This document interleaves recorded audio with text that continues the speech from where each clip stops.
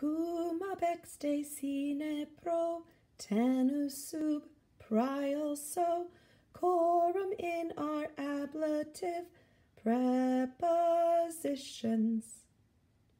One more time.